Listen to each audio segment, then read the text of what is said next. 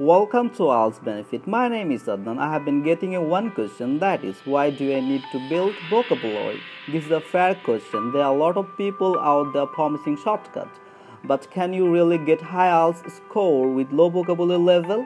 Well, in writing text 1, text 2 and speaking, your vocabulary makes up 25% of your score goes to vocabulary so it also helps reading and listening now I'm gonna show you 8 to 9 band IELTS vocabulary. So let's get started